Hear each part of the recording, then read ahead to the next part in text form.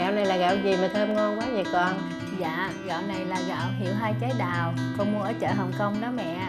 Hèn chi mà dẻo thơm ngon quá con ha.